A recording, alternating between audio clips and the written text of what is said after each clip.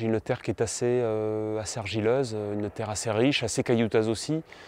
donc j'ai pris tout de suite le pari de faire, ben, voilà, de faire des engrais verts assez rapidement pour apporter de la matière végétale et restructurer un peu cette terre et lui donner un peu de corps qui a été cultivé pendant de très nombreuses années sous, une pratique conventionnelle. Euh, donc euh, un engrais vert broyé avec euh, un apport de, fumure animale. Donc là, par exemple, derrière moi, il y, a, du crottin de cheval, il y a aussi, du fumier de, chèvre.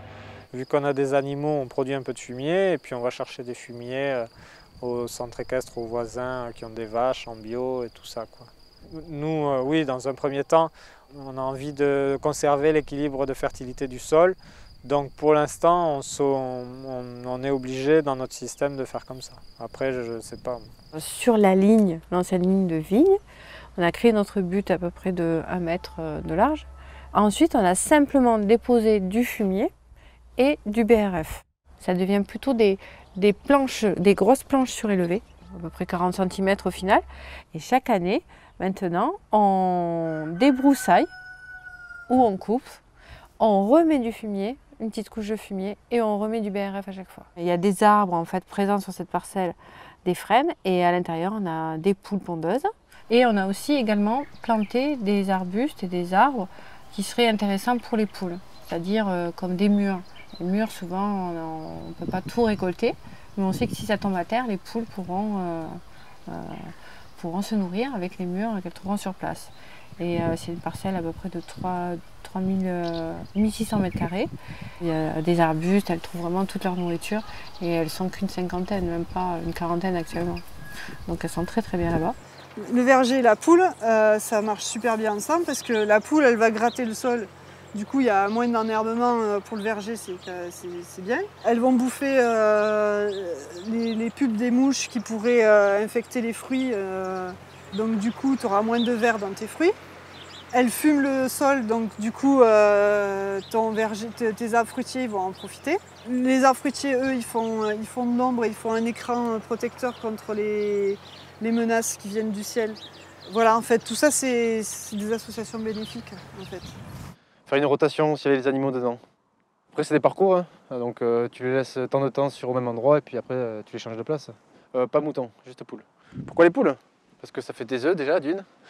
Les déjections aussi vont enrichir le sol et le fait de faire des parcours justement te permettra aussi après de mettre des cultures exigeantes. Tu les laisses six mois au même endroit et puis après tu mets des cultures exigeantes dessus. Tu mets un engrais vert quoi.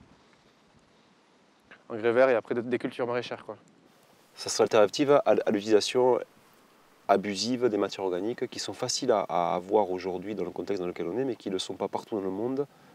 L'idée que, j'ai c'est de, casser un tiers de ma, de ma surface à mettre à une prairie euh, temporaire avec des espèces à fort enracinement, des légumineuses et des graminées, tu vois, qui permettent d'ouvrir le sol en profondeur et qui ne soient pâturés constamment. Pendant toute la période estivale, en fait, la, prairie va être arrosée et pâturée. Et du coup, le fait que la prairie soit arrosée et pâturée, en fait, il va y avoir une production de biomasse bien supérieure à une, prairie laissée desséchée et pas pâturée. Quoi. Et en même temps, comment il s'appelle, le broutage des animaux rajeunit constamment les racines. Donc tu as une émission très importante de racines, mais de racines très jeunes à l'intérieur du sol.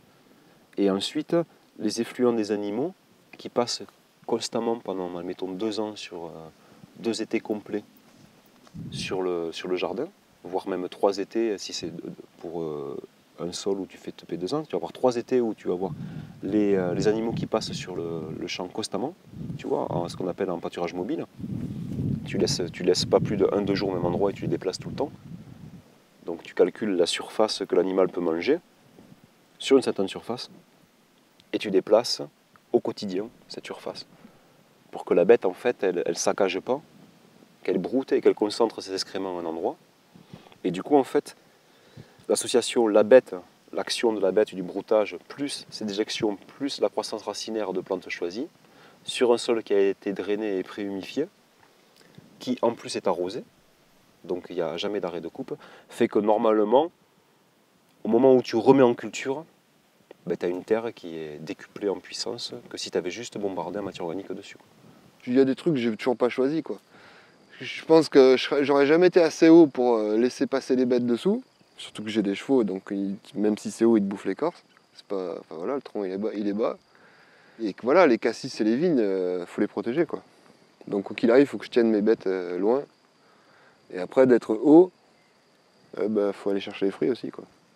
Maintenant, je pense que je, passe beaucoup moins de fumure aussi euh, entre les oliviers, quand je plante entre les oliviers, euh, que la fumure que je mets euh, sur le reste de, des champs euh, exploités, euh, exploités, cultivés.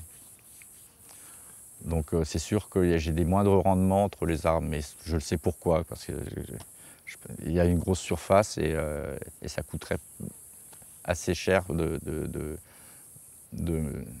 surazoter euh, le- les terrains.